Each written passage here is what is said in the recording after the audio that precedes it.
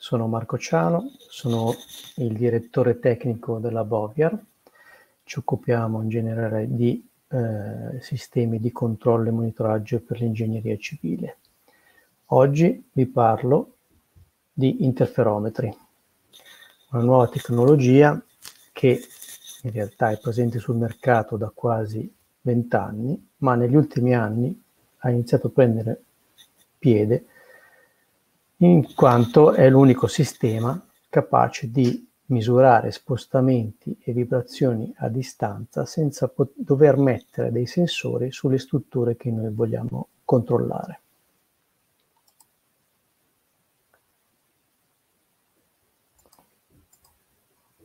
Adesso partiamo con la presentazione.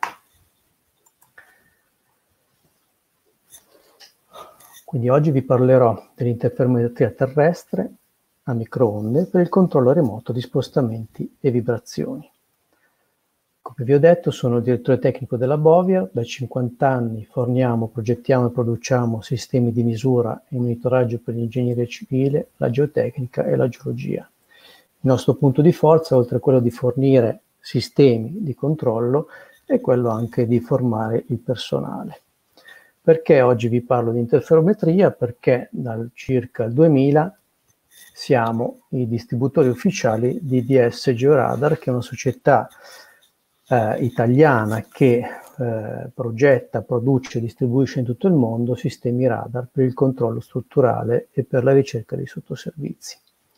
Il gruppo eh, IDS Georadar appartiene oggi a un mondo molto più complesso che quello del gruppo Hexagon, di cui per esempio fa parte anche il gruppo Leica e altre società che si occupano di geosystem in tutto il mondo.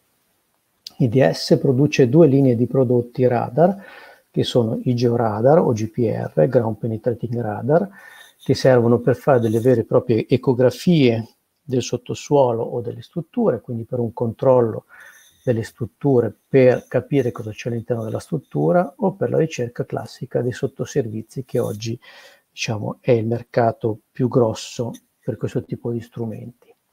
L'altra tipologia di radar invece è un interferometro che serve proprio per andare a misurare eh, gli spostamenti e le vibrazioni delle strutture che noi andiamo a illuminare con questo tipo di strumento. Ora i due radar sostanzialmente eh, di base fanno la stessa cosa, cioè mandano onde elettromagnetiche. Quando queste onde elettromagnetiche raggiungono l'oggetto che noi vogliamo eh, controllare o trovare, parte di queste onde vengono riflesse e noi andiamo a studiare queste onde che eh, registriamo e possiamo elaborare.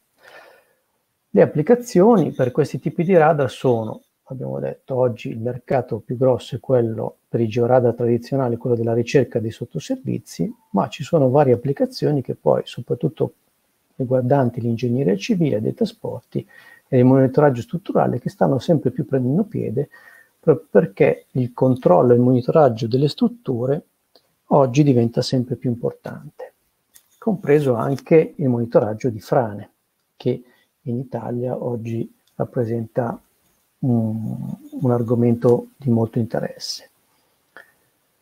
Quindi quello che vi faccio vedere oggi, e vi cercherò di spiegarvi, è cosa sono gli interferometri, come e dove possono essere applicati. Quindi la prima introduzione sarà proprio teoria, cioè cercherò di farvi capire come funzionano questi tipi di strumenti e dove possono essere, in quali ambienti possono essere applicati in base al modello che eh, sceglieremo. Quindi abbiamo detto che noi eh, utilizzeremo a tutti gli effetti un radar. Abbiamo detto che un radar emette tra, attraverso un'onda, un'antenna che trasmette un'onda elettromagnetica, quando quest'onda colpisce un oggetto, parte dell'onda viene ri- riflessa e parte dell'onda viene ritrasmessa o riflessa in altre direzioni quest'onda riflessa dall'oggetto che torna all'antenna ricevente, noi possiamo registrarla. Per un georadar tradizionale ci interessa il tempo di andata e ritorno di quest'onda, perché se io conosco la velocità delle onde nel mezzo che stiamo indagando, quindi che può essere aria, terreno, calcestruzzo, noi se sappiamo il tempo che ce, lo misura lo strumento e abbiamo la velocità delle onde in quel materiale, conosciamo la posizione dell'oggetto. Però quando noi parliamo di interferometria non ci interessa tanto il tempo di andata e ritorno dell'onda, ma quantomeno ci interessa, ci interessa di più sapere la fase dell'onda che noi trasmettiamo. Cioè l'interferometro si dice che è uno strumento a memoria di fase dell'onda, cioè io manderò un treno di impulsi di onde elettromagnetiche e di questi impulsi mi interesserà misurarne la fase. Quindi come funziona lo strumento? Mando una prima onda elettromagnetica quando la struttura o l'oggetto o la frana che sto illuminando riflette quest'onda, io ne registrerò l'onda, ma di quest'onda mi interesserà sapere e tenere in memoria la fase. Cosa succede?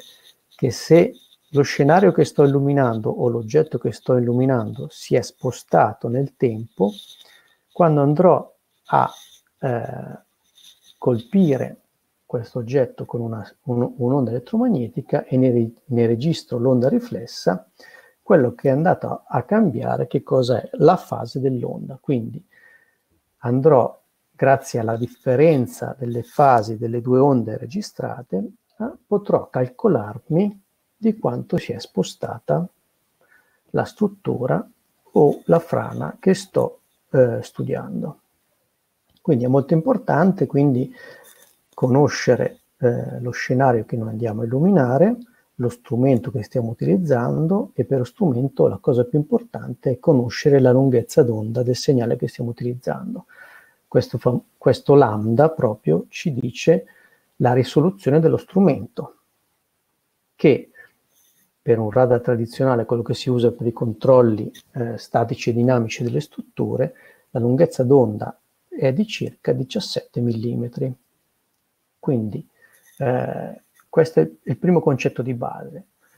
Dentro la lunghezza d'onda ci sta il concetto di risoluzione dello strumento e anche eh, il primo limite di questa tecnologia, perché eh, quando noi parliamo di tecnologia dobbiamo sapere quali sono i vantaggi, ma anche i limiti dell'applicabilità.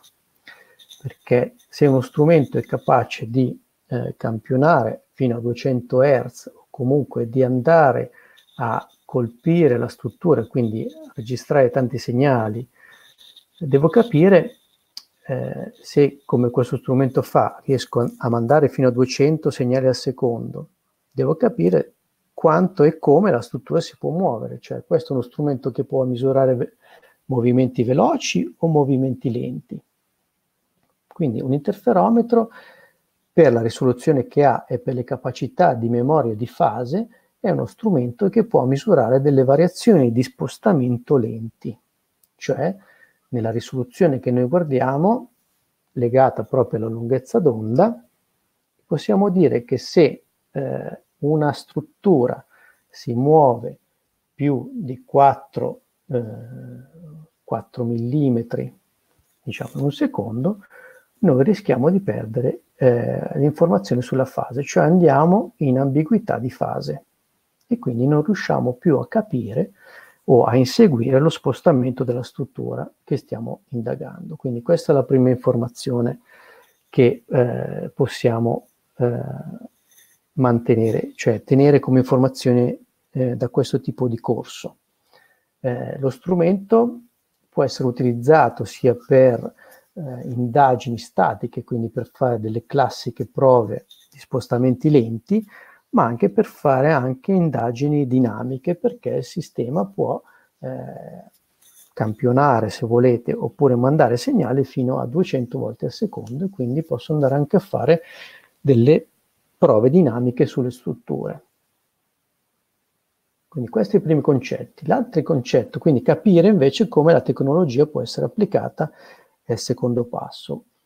L'interferometro quindi emette delle onde sferiche eh, nella direzione di vista, si dice, cioè eh, emetto un segnale che dallo strumento va verso lo scenario che noi vogliamo individuare e eh, lo spazio davanti allo strumento può essere diviso in tante aree. o se volete in tanti piccoli volumi. Ogni singolo volume elementare si chiama range bin e questo range bin è indipendente dalla distanza, cioè eh, la, lo spessore di questa, di questa fascia, di questa fascia spaziale, chiamiamola, o di volume elementare, è sempre costante, indipendentemente dalla distanza dell'oggetto dal, eh, dallo strumento.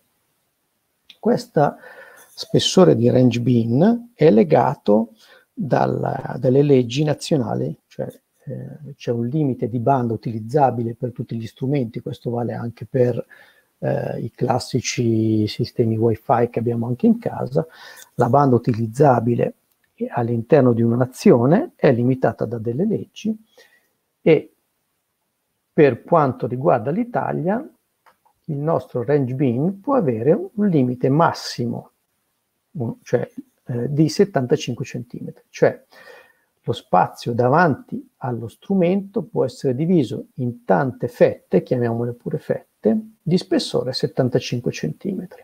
Quindi se all'interno di ogni singola fascia ho un oggetto che riflette, e quindi per riflettori noi eh, diciamo che gli, gli, oggetti che riflettono diciamo che sono quelli che hanno degli spigoli vivi, oppure per quanto riguarda per esempio la torre che vediamo qua nell'immagine, eh, le saldature o i passaggi tra un elemento strutturale e l'altro, che comunque creano una discontinuità, quelli sono dei riflettori naturali che riflettono molto bene il segnale elettromagnetico.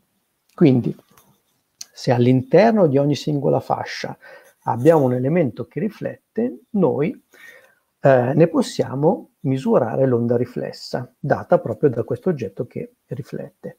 Quindi, su uno schermo del nostro computer che cosa avremo? Avremo un grafico di riflettività della, dello scenario che stiamo illuminando con lo strumento. Quindi avremo un grafico dove avremo sull'asse X la distanza che, e questo grafico sarà diviso in tante fasce da 75 cm l'una.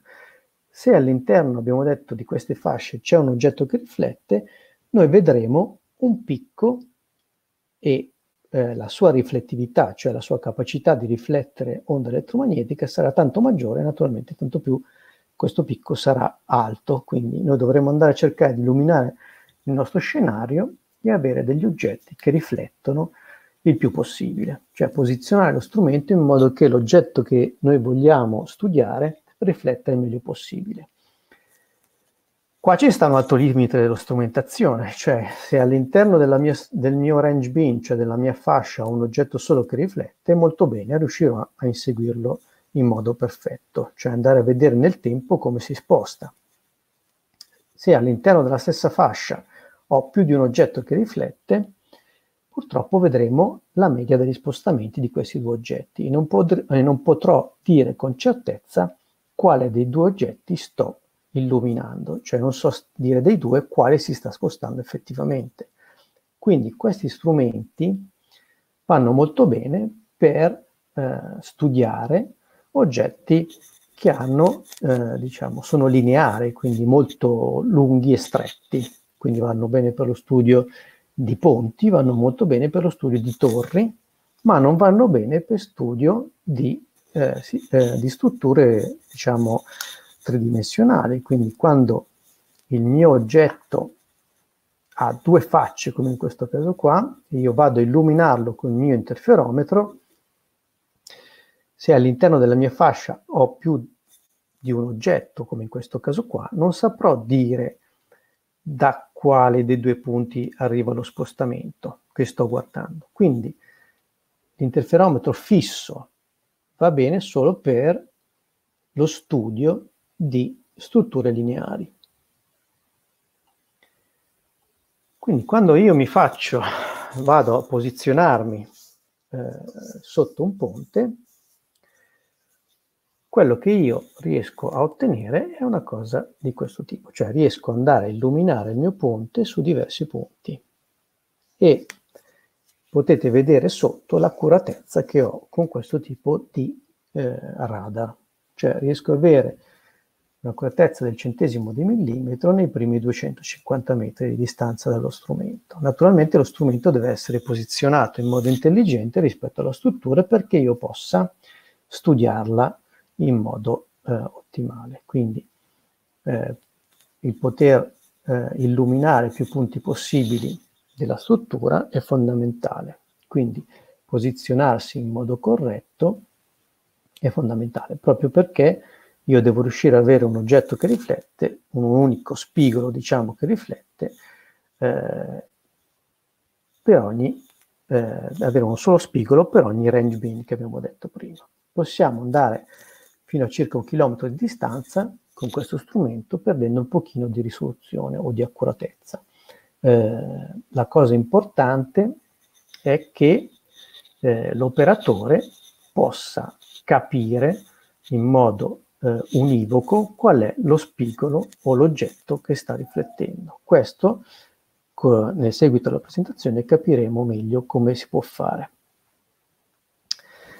Andiamo oltre, cioè cerchiamo di capire come da una, una risoluzione 1D, perché noi abbiamo la risoluzione solo nella linea di vista, possiamo migliorare o cambiare l'applicazione di questo strumento. Cioè se io riesco a posizionare il, la mia testa radar su un binario o su una testa rotante, si dice che vado a, a, spostare lo strumento e a simulare un'antenna molto più grande. In realtà noi il fatto di usare o di utilizzare un'antenna molto più grande non ci interessa più di tanto. Ci interessa il fatto che noi stiamo utilizzando un radar in modalità SAR.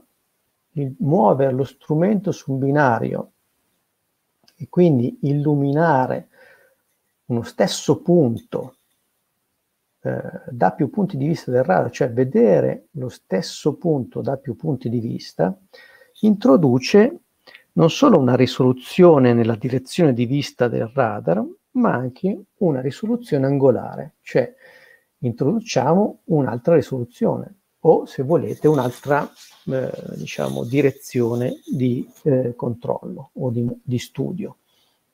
Cioè io riesco in questo modo a dividere il mio scenario non più in fasce di 75 cm l'una di spessore, ma introducendo questa eh, risoluzione angolare di dividere il mio scenario in vere e proprie aree o se volete pixel, possiamo anche chiamarli pixel. La dimensione di questa area dipende dalla distanza dello strumento rispetto allo scenario che stiamo illuminando. Quindi eh, la, la, lo spessore del nostro range beam rimarrà, abbiamo detto, sempre costante, quindi 75 cm, invece l'area, e quindi eh, questo tipo di dimensione, questa dimensione qua, varierà naturalmente con la distanza dello strumento dallo scenario che vogliamo studiare. Quindi la nostra eh, cella di risoluzione non è più una fascia, ma è diventata una vera e propria area, una cella che ha, abbiamo detto, una dimensione fissa più una, di- una dimensione variabile in base alla distanza. Se facciamo un esempio a un chilometro di distanza, questa quest'area ha uno spessore di 75 cm per circa 4,3 metri di larghezza. Ora, eh, naturalmente sempre col solito centesimo di millimetro di accuratezza. Quindi abbiamo detto che abbiamo introdotto, cioè abbiamo eh, applicato la tecnologia SAR che oggi si usa anche da satellite da, da più anni rispetto all'interferometro terrestre, stiamo applicando una tecnologia SAR a, a uno studio del, diciamo, delle, del, del, territorio, in questo caso, o delle strutture, perché questo tipo di tecnologia viene, usa, viene usata quasi esclusivamente per il controllo di grosse strutture quali dighe o per il controllo di frane, che è, diciamo, è l'ambito in cui lavora al meglio. Quindi noi riusciamo ad andare a illuminare la nostra area, abbiamo detto, e dividerla in tante aree. Quindi abbiamo, siamo passati da una risoluzione 1D a una risoluzione 2D. Naturalmente questo strumento però misura sempre uno spostamento nella direzione di vista. Quindi se io volessi proiettare o capire in modo preciso eh, qual è la zona in cui sta effettivamente avvenendo lo spostamento, il suggerimento è sempre quello di appoggiare la nostra immagine 2D che noi otteniamo da questo tipo di eh, strumentazione e eh, appoggiarla o se preferite una, un verbo un po' più simpatico, spalmarla su un rilievo digitale che possiamo ottenere tranquillamente oggi con dei laser scan oppure con dei droni. Quindi noi possiamo appoggiare il nostro dato interferometrico su un dato su un rilievo digitale che oggi è abbastanza semplice da realizzare e da eh, sovrapporre a un dato radar. Eh, faccio vedere anche in questo caso l'accuratezza di questo tipo di strumentazione che a circa un chilometro di distanza è sempre il nostro eh, decimo di millimetro. Se andiamo molto più lontano, con questo strumento possiamo arrivare fino a 4 km di distanza con una risoluzione di un millimetro. Naturalmente la nostra eh, area di controllo sarà molto più grande. Quindi come funziona lo strumento?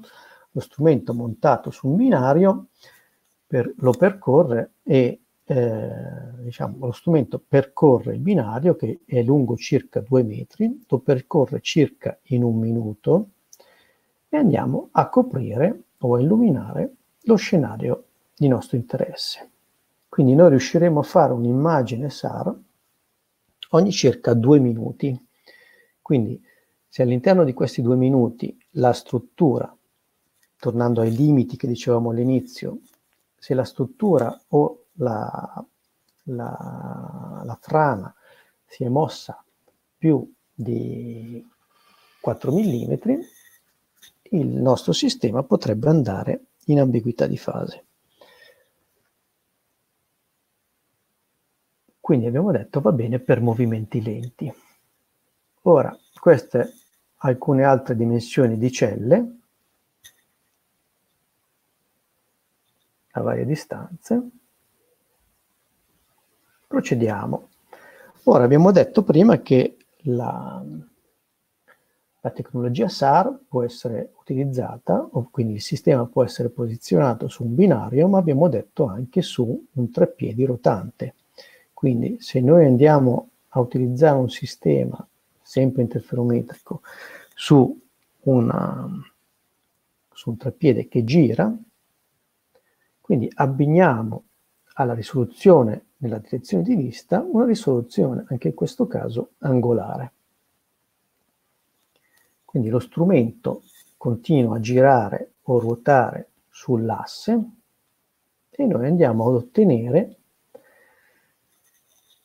delle celle molto più piccole. Perché molto più piccole? Perché per utilizzare questo strumento dobbiamo cambiare anche testa radar, quindi utilizzare una testa radar con delle frequenze molto più alte e aumentare la frequenza del segnale elettromagnetico che noi utilizziamo implica anche o ha il favore anche di avere un range bin molto più piccolo. Quindi quando noi andremo a visualizzare, adesso poi vi faccio vedere qualche applicazione di questo tipo di sistema, il range bin di questo eh, sistema che ha una frequenza intorno ai 70 GHz ha un range bin che ha una risoluzione di circa 20 cm.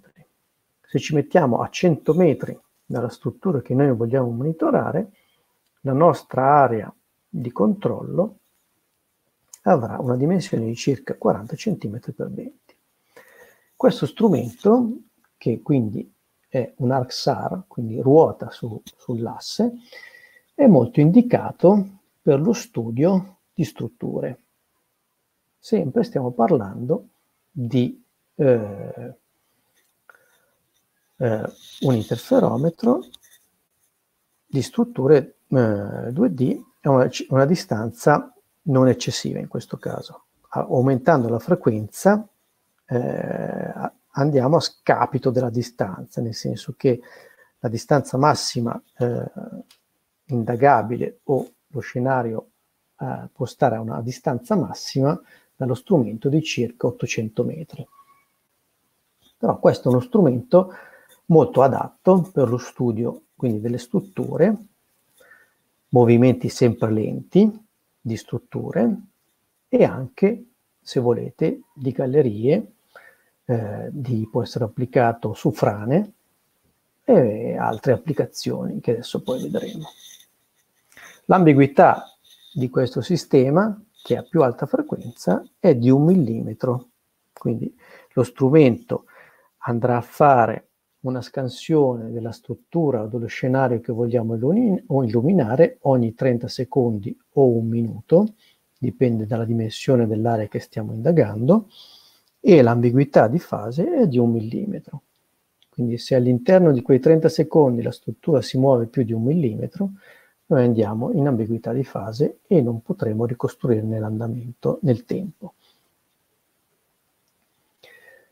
Vediamo alcune applicazioni e le dimensioni delle aree che stiamo guardando. Quindi alcune delle celle possono avere questo tipo di dimensioni. Quindi lo 0,2 che è fisso per 20, 40, 80 cm in base alla distanza dello scenario rispetto allo strumento.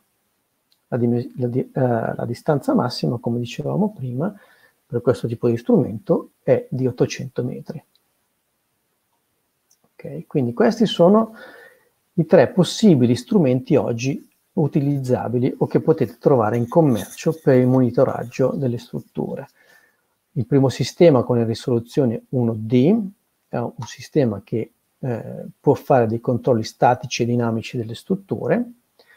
Gli altri due prodotti, che quindi sono degli, dei, dei SAR a tutti gli effetti, uno che gira su un binario e l'altro gira su un asse, possono fare invece dei controlli o dei, dei monitoraggi di spostamenti lenti.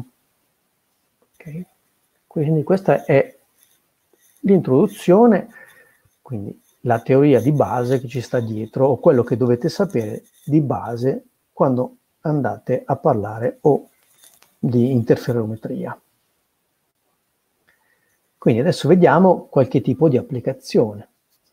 Quindi abbiamo detto che l'interferometro base, quello quindi che ha una risoluzione 1D, può essere utilizzato per un controllo in remoto di spostamenti di vibrazioni delle strutture. Adesso vedremo alcuni casi più semplici, nel senso il caso di ponti e di torri, che sono diciamo le strutture più adatte a questo tipo di, di strumentazione. Ok, lo strumento è molto semplice da utilizzare, ha un treppiedi, una testa radar che è, la, è, questa, è questo oggetto giallo che vedete nelle immagini, e poi un PC per il controllo della, del sistema. Il sistema è remotizzabile, nel senso oggi anche con dei modem 4G può essere controllato in remoto. Faccio vedere alla fine di questa presentazione come un nostro cliente è riuscito a monitorare in tempo reale le strutture eh, nel tempo, in modo continuativo, senza dover essere presente sul cantiere continu- in, continuamente. Ok, come si fa questo tipo di prova? Si posiziona lo strumento, quando facciamo una prova per un ponte o per una torre ci, si, si, cerca di posizionarsi in modo intelligente rispetto alla struttura, quindi quando facciamo una prova per un ponte ci dobbiamo mettere sotto, cioè sotto al ponte, e sfruttare la trigonometria per studiarne la freccia, cioè quando io voglio fare una prova classica di carico su un ponte, devo po- posizionare il mio radar in modo che io possa misurare lo spostamento dell'oggetto nella direzione di vista, in base poi alla trigonometria, ottenere la freccia degli spostamenti eh, verticali. Quindi, quindi eh, lo strumento di solito viene abbinato a un disto laser di alta fascia con cui io posso naturalmente andare a misurare la, l'altezza dello strumento, la distanza dello strumento rispetto alla struttura che stiamo eh, monitorando e per anche capire qual è il punto della struttura che mi sta riflettendo, perché se vi ricordate uno dei primi grafici che abbiamo visto era il grafico in cui io avevo la distanza dello strumento e la riflettività. Quindi se io vado a misurare la distanza dello strumento, che la distanza dell'oggetto che riflette, che comunque me lo dà il radar, ma non ho, eh, per capire esattamente qual è il punto sulla struttura che sta riflettendo, ho bisogno di, una, di un disto per capire qual è l'oggetto sulla struttura e qual è la sua distanza reale dallo strumento. Cioè non ho un modo, una telecamera o un altro modo per capire qual è eh, il punto che sta riflettendo nello scenario. Io ho solo il picco della riflettività e in base alla distanza di questo picco rispetto allo strumento, con un disto posso capire qual è questo punto sulla struttura che mi sta riflettendo. Quindi non è uno strumento molto intuitivo da questo punto di vista, però può essere applicato in modo molto semplice, perché se ci mettiamo sotto un ponte, poi io sono capace di fare delle classiche misure, se io capisco qual è il punto che si sta muovendo eh, della struttura, riesco poi a inseguirlo, perché poi questo è il classico poi grafico tempo spostamento, cioè il classico time cioè nel senso vado a vedere come si sta muovendo il, l'oggetto nel tempo, oppure posso andare a farne uno studio dinamico, cioè quindi acquisire in modo eh, acquisire a 200 Hz il segnale e registrarne il segnale, cioè di come si sta muovendo in modo veloce la struttura e poi andare a fare un'analisi dinamica, quindi frequenza della struttura. Quindi fare la classica e da qui, se volete, anche la classica analisi modale.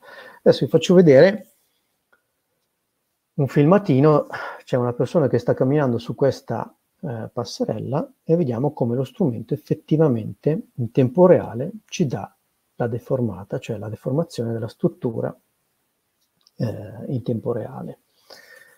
Quindi è uno strumento capace a, in tempo reale e anche in modo molto veloce di darci la deformata o lo spostamento eh, della struttura che stiamo eh, studiando. Faccio vedere dei casi eh, semplici, base, proprio base, Qual è la, la, stru- la struttura ideale da controllare? Quando noi abbiamo un ponte che ha degli elementi, abbiamo detto, che riflettono molto bene e per noi il, l'ideale è quello dei ponti dove le travi a vista, sono a vista e sono regolari, cioè io riesco a mettermi sotto al ponte in modo da illuminare il più possibile più elementi eh, ortogonali, diciamo, al, allo strumento che stiamo utilizzando e che riflettano molto bene. Questo è l'esempio, diciamo, più facile e più intuitivo eh, che possiamo avere, cioè la possibilità di avere un ponte con tante travi a vista e, pot- e avere naturalmente lo spazio libero al di sotto del ponte. Questo non sempre è possibile, perché poi ci sono delle regole della lunghezza dell'elemento e dell'altezza eh, della, della struttura rispetto allo strumento che sono vincolanti, cioè la trigonometria devo riuscire a illuminare, inclinare lo strumento in modo che io riesca a visualizzare o a colpire, se volete, in modo eh, ottimale più elementi strutturali. Quindi l'altezza dello strumento rispetto alla struttura eh, è fondamentale, quindi dei ponti relativamente a degli impalcati molto bassi non vanno troppo bene per questo tipo di strumento. Quindi, però ci sono dei ponti molto comodi, anche i ponti diciamo ferroviari sono molto comodi da, da, da studiare per questo tipo, perché non hanno luci, non hanno luci molto grandi e le altezze di circa 5-6 metri vanno più che bene per fare questo tipo di indagini. Eh, abbiamo quindi, eh, procediamo, faccio vedere come è stata fatta la prova. Quindi lo strumento è stato posizionato al di sotto del ponte, possiamo vederne la posizione qua, scusatemi, quindi andiamo a illuminare tutte le travi. Le travi sono regolari e quello che io ottengo è il grafico, cioè il famoso profilo in range, de, si chiama così questo tipo di grafico, lo strumento in origine è posizionato qua, vediamo, scusate, due, il grafico è ribaltato rispetto alla struttura, vedete che però abbiamo la riflettività di tutte le travi, quindi che noi abbiamo chiamato ABCD e FGH, e abbiamo qua tutti i punti che riflettono in modo molto netto. Okay? Quindi noi riusciamo a dire allo strumento di andare a inseguire tutti i vari picchi e lui nel tempo andrà a farci il nostro grafico di spostamento. Quindi durante la prova di carico eh, sono stati naturalmente messi i camion sul, sul ponte, andare, ah, siamo andati a misurare gli, gli abbassamenti, le classiche frecce. Quindi abbiamo acquisito in tempo reale tutto lo spostamento dei quattro punti. In questo caso è eh, BDFH, quindi BDFH, quindi anche a diverse distanze, e abbiamo eh, confrontato i dati anche con dei classici eh, sensori LVDT. Quindi se noi andiamo a confrontare per esempio il punto B, la trave B, andiamo a sovrapporre il grafico eh, temporale dell'IBIS, cioè dell'interferometro con l'LVDT, vedete che sostanzialmente la misura è la stessa, la cosa che aiuta di più, potrebbe essere interessante anche quando uso questo tipo di strumento, è proprio l'intero andamento della prova, cioè riesco a vedere in tempo reale cosa effettivamente succede alla struttura durante tutta l'intera eh, prova, cioè l'intera prova di carico. Ok? Naturalmente esaminando poi defor- eh, la deformazione massima su ogni singolo punto si può ottenere la classica deformata eh, del, del, ponte. Okay. Passiamo a un altro tipo di applicazione, un po' più particolare, e dove vi faccio vedere un altro limite della strumentazione, perché non sempre quando io sto eh, controllando, monitorando una struttura, ho dei riflettori naturali, cioè degli spigoli. Per migliorare eh, la, riflet- la riflessione del segnale elettromagnetico, in alcuni casi possono essere posti dei prismi sulla struttura che sono sostanzialmente delle piramidi cave dove il segnale elettromagnetico entra e viene riflesso in modo eh, molto amplificato, cioè mo- viene riflesso molto bene. Eh, quindi, quando vogliamo studiare, come in questo caso qua, la pila di un ponte dove abbiamo degli spigoli naturali, ma diciamo poi non abbiamo un riflettore naturale, posso andare a applicare dei, dei corner. Vedete qui abbiamo il nostro profilo in range con i vari picchi di riflessione e poi siamo andati a studiarne dei quattro punti lo spostamento o l'abbassamento se volete nel tempo. Quindi questo è il classico grafico. Tempo spostamento spostamento in millimetri e andiamo a fare la classica prova di carico sulla pila. Faccio vedere invece un, eh, un esame o un'indagine dinamica.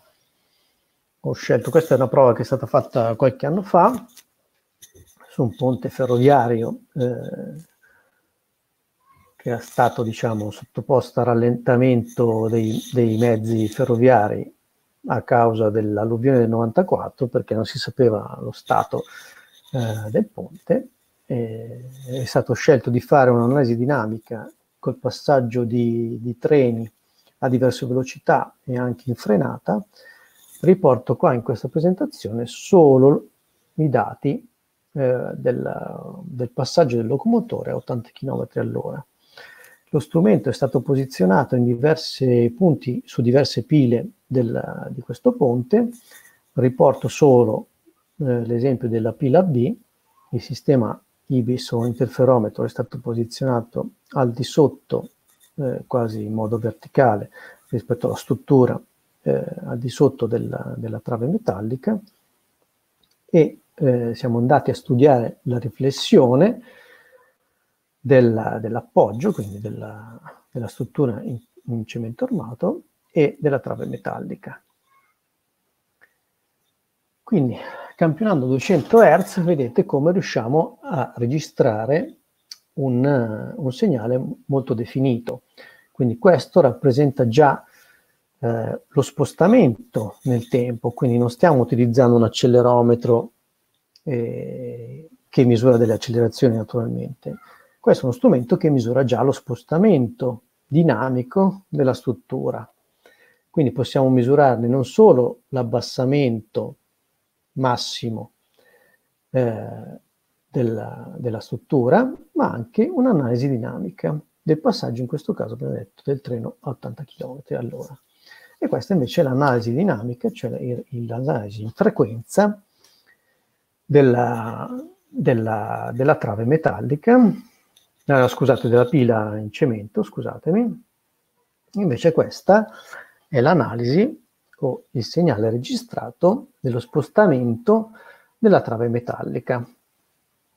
E questa è la sua analisi in frequenza. Quindi possiamo dire quali sono stati gli spostamenti verticali massimi e quali sono le frequenze di oscillazione. Diciamo, questa ho messo la principale, quella con diciamo, densità spettrale maggiore, diciamo così. Ok, la frequenza. Faccio vedere un altro esempio, non siamo in Italia, questo è un altro ponte metallico molto lungo con una luce molto di quasi 250 metri molto comodo, questo è un classico, diciamo, esempio molto bello da far vedere perché comunque eh, questi sono i punti dove l'interferometro lavora molto bene. Questi sono tutti i segnali registrati eh, per ogni punto, quindi del range bin, tutti i segnali registrati nel tempo e questa è un'analisi in frequenza. Lo stesso strumento può ottenere questo tipo di analisi, diciamo, dinamica della struttura. Quindi qua abbiamo il nostro profilo in range e questi sono tutti i punti di riflettività, cioè che riflettono come si muovono nel tempo. Quindi come oscilla il ponte nel tempo. Ecco, naturalmente i punti intorno ai 200 metri vedete che sono un pochino ballerini, diciamo, non sono perfetti. Alcuni punti andrebbero tolti da questa analisi, però diciamo che al passaggio del camion questo è l'effetto, cioè l'oscillazione che si ottiene dell'intera struttura.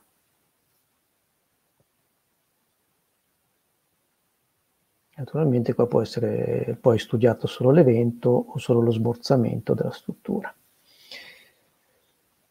eh, uno dei punti di forza di, questo, di questa tecnologia è lo studio dei ponti strallati, cioè andare a studiare le oscillazioni degli stralli. Perché è comodo? Perché lo strumento, abbiamo visto, è posizionabile in circa 15-20 minuti e se io riesco a posizionare lo strumento in modo da illuminare tutti gli stralli, riesco a studiarne lo spostamento, la vibrazione di tutti gli stralli posizionando uno strumento solo. Cioè, quello che voglio dirvi è che con uno strumento relativamente piccolo da portare in giro e molto veloce da posizionare, riesco a fare un'analisi di molti stralli con uno strumento solo. Perché è comodo? perché rispetto a indagini tradizionali che magari conoscete molto bene, cioè la, la difficoltà eh, e il tempo necessario per posizionare sensori tradizionali, quindi accelerometri o sensori di spostamento, utilizzare un interferometro vuol dire ridurre tantissimo i tempi e i costi, cioè ho dei costi molto più bassi sia di personale che di materiali, e il tempo necessario per andare o per fare tutta l'attività si riduce di tantissimo. Cioè non ho la necessità di prendere il mio Bay Bridge, che ne so, o altre eh, piattaforme, andare sul, sull'impalcato, sulla, sul ponte, posizionare i sensori. Cioè riduco il tempo uomo, riduco il tempo macchina e tutto Quindi il costo di questo tipo di prova è molto limitato. E l'altra cosa molto interessante, anche molto comoda, è che io sto illuminando degli oggetti che sono in aria, cioè non ho ambiguità nell'interpretazione. Ho, come nel caso che vediamo qua, tre stralli in, a- in, aria illuminati col mio strumento e questo è il profilo in range con tre picchi molto netti che non possono dare eh, dubbi nell'interpretazione. Quindi vado a inseguire i miei, i miei stralli in un'analisi dinamica e io ottengo degli spostamenti dinamici della, del, degli stralli. Dallo spostamento o dell'analisi in frequenza di questi, di questi spostamenti ottengo le varie frequenze e dalle frequenze la tensione degli stralli. Altre applicazioni molto comode sono le torri, abbiamo detto, possiamo andare a fare delle, degli studi su torri eoliche, paleoliche, eh, dove nel nostro caso quello che riflette sono le saldature tra un elemento strutturale e l'altro. Quindi anche cose molto piccole possono essere degli ottimi riflettori. Adesso vi faccio vedere un filmato con tutti i picchi di riflessione dati dalle saldature. Naturalmente questa è la parte della pala eolica. Bisognerebbe farlo naturalmente con pala eolica ferma, ma non avrebbe molto senso. E questa è la deformata in tempo reale della pala cioè in realtà della, della torre. Ok, faccio vedere questo gentilmente, questi dati, dati dell'ingegner Castagnetti dell'Università di Modena Reggio Emilia. Questa è una torre campanaria molto interessante perché ha una campana di più di due tonnellate, mi sembra. Eh, quindi nostro, la nostra struttura è sollecitata da una, da una campana in movimento. Quindi andiamo a studiarne il, il movimento e, eh, con sollecitazione data dal movimento della campana. Posi- il sistema è stato posizionato in questo punto e sono stati scelti alcuni range bin dati proprio dalla riflessione degli spigoli della struttura a diverse distanze. Quindi questo è lo schema di acquisizione, come è stata naturalmente poi la prova è stata eh, fatta eh, abbinando poi, confrontando poi i risultati di accelerometri MEMS e di accelerometri eh, PCB. Noi adesso vedremo i risultati sostanzialmente dell'interferometro Naturalmente, se io voglio eh, lo strumento, abbiamo detto l'interferometro, eh, misura direzioni o spostamenti nella direzione di vista.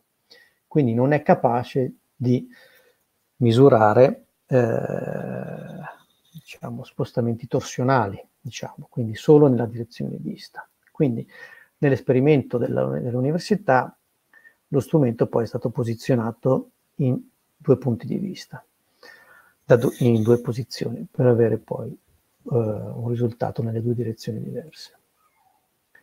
Questi sono i, uh, i dati registrati con l'interferometro nei vari punti. Come vedete, un'analisi molto definita, un dato molto definito, e questo invece è il confronto tra il dato radar che misura già uno spostamento e eh, l'accelerometro classico MEMS eh, posizionato nello stesso punto di misura. Vedete che sono sostanzialmente simili, se non uguali. L'analisi dinamica di, questa, di, questi dati ha portato a questa frequenza di risonanza della torre di circa 1 Hz e 4, che corrisponde per tutti i punti, cioè su tutti i punti range bin studiati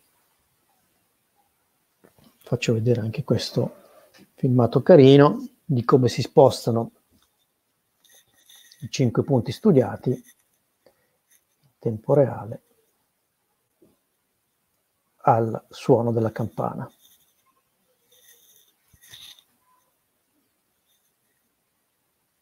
Okay. Perfetto, adesso poi vediamo qualche applicazione invece per l'Hydra G. Questo è l'interferometro che dicevamo prima, ha una frequenza molto più alta e quindi una risoluzione in range bin di circa 20 cm e ruota sul suo asse. Questo è uno strumento innovativo perché abbina alla tecnologia ARCSAR, quindi il fatto che lo strumento ruoti sul suo asse, anche la possibilità di abbinare al dato radar un'immagine e quindi abbinare uno spostamento a un punto ben definito della struttura che stiamo eh, indagando, che essa sia una struttura o una frana. Quindi la possibilità di aggiungere una telecamera, un laser scanner a questo strumento ci permette di capire meglio qual è lo scenario e, si, e qual è il punto nello scenario che si sta muovendo. Faccio vedere un esempio pratico. Quindi lo strumento è stato posizionato su una base in cemento, questa è la struttura di questi tre eh, palazzi al passaggio di una TBM, cioè stanno costruendo una metropolitana al di sotto di questi palazzi e vogliono vedere come si muovono questi palazzi al passaggio della talpa. Quindi questa immagine che noi vediamo, non vediamo più il grafico di prima, spazio, distanza dallo strumento e riflettività, abbiamo un'immagine dove un'immagine classica di una fotocamera, possiamo dire, e a ogni punto dell'immagine possiamo abbinare nostro, la nostra area che dicevamo prima, no? Quindi il nostro 20 cm per 40 cm corrisponde a ogni singolo punto che noi vediamo sull'immagine. Quindi possiamo andare a eh, discretizzare ogni singola struttura e quindi ogni punto che voi vedete su, queste, su questi palazzi corrisponde a un sensore di spostamento. Quindi l'operatore non dovrà, non, dovrà, non dovrà fare altro che selezionare sul campo in realtà noi registriamo tutti gli spostamenti di, di, tutti questi punti, però poi io nel grafico andrò a scegliere quali visualizzare, quindi Scelgo quali di questi punti eh, selezionare, come in questo caso triangoli o pallini di vari colori, e di questi punti vado a studiarmi lo spostamento nel tempo. Quindi il nostro classico eh, grafico tempo-spostamento. Okay. Questa è la serie temporale di questa prova, cioè è durata alcuni giorni, il sistema è rimasto su quella eh, pedana in, in calcestruzzo e ogni 30 secondi faceva una scansione della, dei tre palazzi. Eh, andiamo nella, diciamo, nella, nella parte dopo, in cui si capisce meglio cosa è successo. Il primo giorno è arrivata la talpa, purtroppo è stata ferma un giorno per un problema tecnico, che è la, nessun spostamento, diciamo, e, diciamo, anche gli spostamenti sono rimasti sostanzialmente costanti per tutta la giornata.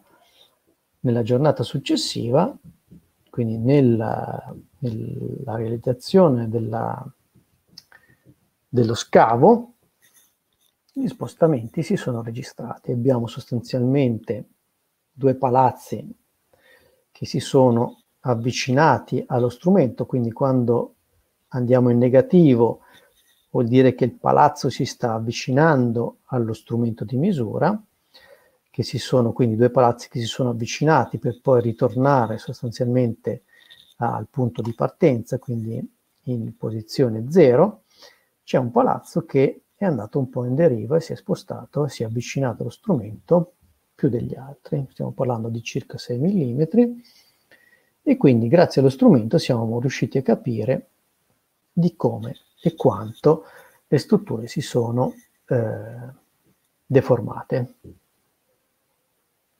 Faccio vedere altri casi. Eh, alcuni casi adesso vedremo solo alcune immagini, poche cose. Questo è l'intervento che abbiamo fatto dopo la caduta del ponte Morandi a Genova, dove sono stati posizionati due interferometri Hydra sotto eh, il ponte, quindi due Hydra e due interferometri fissi sotto eh, la parte a sbalzo rimasta del ponte e gli altri due sotto la trave Gerber rimasta tra i due piloni. E di questo naturalmente non posso farvi vedere alcun tipo di dato se non il filmato realizzato dai vigili del fuoco che sono arrivati prima di noi sul posto, noi eravamo lì il 14, 15 agosto, il 16 mattina eravamo già operativi, questo invece sono i vigili del fuoco che erano già presenti prima di noi eh, sul posto e stavano monitorando il, il, ponte per sapere se si stava spostando e per garantire la sicurezza dei vigili del fuoco nella rimozione dei, nella rimozione dei detriti della, delle macchine diciamo distrutte e anche per farli lavorare in sicurezza ecco, soprattutto Quindi vedete lo strumento gira su se stesso e ogni 30 secondi fa un'analisi. In questo caso era puntato leggermente basso, poi nella stazione fissa che hanno poi degli strumenti posizionati ai nostri clienti, con lo strumento riuscivamo a monitorare sia eh, diciamo, la parte del ponte che anche la pila o eh, Perfetto. Questo è un grafico temporale eh, degli spostamenti. Eh, si possono vedere, poi i dati possono essere epurati eh, perché questi tengono conto anche delle variazioni tem- eh, eh, della temperatura. Tenendo poi un punto fisso di misura, eh, si possono epurare questi dati dalla, dagli spostamenti legati alla, alle variazioni eh, meteo, diciamo, della, del dato. Cioè, noi abbiamo sempre, quando vogliamo fare un monitoraggio di spostamenti, c'è sempre una, diciamo, una deviazione legata alla variazione di temperatura, quindi delle condizioni ambientali. Possiamo poi epurare il dato tranquillamente eh, conoscendo un punto fisso. In questo caso tenevamo come punto fisso uno di questi palazzi che sicuramente non si spostava e andavamo a epurare lo spostamento, eh, a, diciamo, a ripulire lo, lo spostamento del dato dell'interferometro. Altro tipo di eh, monitoraggio, sempre con, la, con l'Hydra, quindi l'interferometro, un ARCSAR, eh, nel 2018 eh, c'è stato un grosso cedimento nella, in questo quartiere Balduina di Roma. L'unico sistema in grado di monitorare sia il fronte di frana che i palazzi sovrastanti eh, in, tempo, in un tempo molto veloce, quindi senza posizionare prismi o altri tipi di sensori sulle strutture, sulla frana, è stato eh, l'interferometro.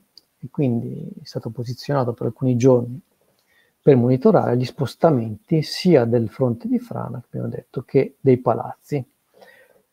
E questi sono eh, l'immagine sovrapposta dell'immagine video e l'immagine eh, interferometrica con i vari punti dei palazzi eh, e gli spostamenti. Non, questi c'è un po' di deriva, sostanzialmente quasi tutti fermi, eh, tutte le strutture, tranne uno di questi palazzi che si è spostato leggermente di circa 2 mm rispetto allo strumento. Uh, un altro caso in cui abbiamo fornito al nostro cliente Sina uh, gli interferometri per lo studio del, della frana sulla 6 di dicembre scorso, quindi hanno utilizzato un interferometro fisso per il controllo delle strutture è un interferometro, un ARCSAR chiamiamolo, per il controllo invece della frana. Faccio vedere l'interferometro fisso è stato posto al di sotto del, dell'impalcato del ponte rimasto in piedi dell'autostrada 6, dove poi è stato aperto, quindi per un controllo in tempo reale del, del ponte rimasto in piedi, eh, per garantire l'apertura al traffico nelle due direzioni del, del traffico e l'interferometro invece, eh, diciamo tipo SAR, è stato posizionato per lo studio della frana. Quindi doppia tecnologia su due applicazioni diverse, quindi uno strutturale e uno diciamo geologico per andare a studiare lo spostamento della frana. Tutto era diciamo, controllato dalla protezione civile che ha dato soglie di allarme, infatti se avete seguito un pochino le, eh, l'andamento di questo cantiere, chiamiamolo cantiere, eh, l'autostrada è stata chiusa due o tre volte durante soprattutto gli eventi di grosse piogge, perché gli spostamenti in frana erano abbastanza considerevoli. Ok, procediamo. Diciamo quindi con l'interferometro classico, quindi base, e con l'ARCSAR, ho più o meno fatto vedere alcuni esempi. Adesso vi faccio vedere l'interferometro su binario, quindi questo viene utilizzato soprattutto per il monitoraggio, abbiamo detto, di grosse strutture quali dighe o per il controllo di grosse frane. Eh, il sistema, abbiamo visto, può essere utilizzato in sostituzione o abbinato a altri tipi di monitoraggi, quindi con dei laser scanner, oppure dei GPS o, o dei sistemi tradizionali di lettura, quali sistemi inclinometrici o di spostamenti tradizionali, però lo strumento è molto veloce da posizionare e copre aree molto grandi in poco tempo. Abbiamo detto che la scansione su un binario da due metri dura circa due minuti, quindi riesco a dare uno spostamento di grosse aree ogni due minuti. Questo è molto comodo. Vi faccio vedere un esempio che è uno dei più interessanti perché copre una frana che è grandissima. Adesso vi faccio vedere le dimensioni di questa frana in due minuti. Faccio vedere, questa è una frana in America che ha una dimensione di circa quasi 4 km per 300 è lunga circa 4 km per una larghezza di circa 300 metri. Ecco, non abbiamo parlato per le frane che uno dei limiti di questa tecnologia è il fatto che se la frana ha vegetazione, lui va in crisi perché naturalmente come i laser scanner anche l'interferometro quando sono, c'è la presenza di eh, piante non riusciamo ad andare a inseguire eh, la, lo, lo, spostamento dei punti. Eh, abbiamo detto va sostanzialmente in ambiguità di, fa, di fase. Quindi questa è una, fra, una frana su cui può lavorare bene e questa è la mappa dove naturalmente c'erano altri dispositivi come GPS fissi che naturalmente in alcuni casi queste frane GPS poi vengono portati via, quello che succede per esempio sui ghiacciai dove si mettono spesso questi tipi di, di sensori ma poi vengono portati via, cioè le mire o i GPS, se lo spostamento è veloce o notevole, cioè non tanto veloce ma di una quantità eh, grande, questi sensori vengono spostati e magari vengono persi, mentre l'interferometro lavora lo stesso. Faccio solo vedere, e poi concludo, eh, la mappa degli spostamenti cumulata in due o tre giorni.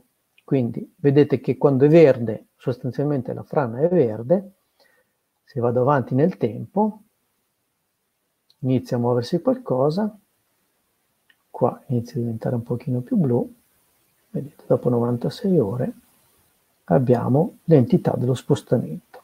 Queste mappe possiamo fare sia mappe di spostamento che di velocità e naturalmente abbiamo sempre anche l'ampiezza della, della riflessione. Anche qua possiamo andare a scegliere quali di questi punti selezionare e andare proprio a monitorarne lo spostamento nel tempo. Questi sono i classici eh, grafici. Chiudo facendovi vedere che esistono anche dei sistemi trasportabili molto comodi, in Italia si usano poco, anzi questi sistemi trasportabili vanno bene per le miniere sostanzialmente, nelle miniere in giro per tutto il mondo si usano tantissimo questi tipi di, di sistemi di monitoraggio. Eh, concludo eh, dicendo che questi sistemi naturalmente non hanno una grande diffusione nel mercato, ce ne sono, sono applicabili in casi particolari o in ambienti particolari, però come avete visto sono molto comodi e sono molto veloci da installare e hanno un dato molto eh, facile da leggere.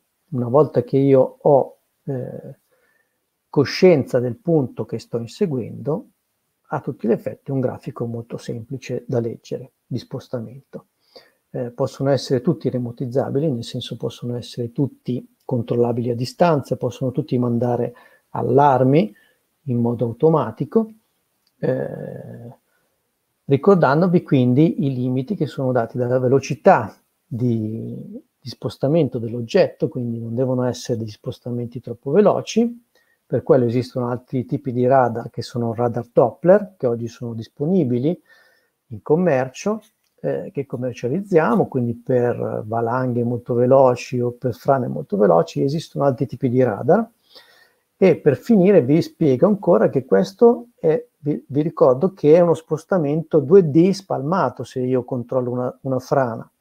Quindi non è uno spostamento reale 3D, ma uno spostamento 2D. Quindi non ho lo stesso spostamento 3D che potrei avere con una stazione totale robotizzata, però uno spostamento su un'area molto diffusa, su grosse aree, in pochissimo tempo, cosa che con altre tecniche o tecnologie non riusciamo a ottenere. Quindi spostamenti molto definiti su aree molto grosse in pochissimo tempo.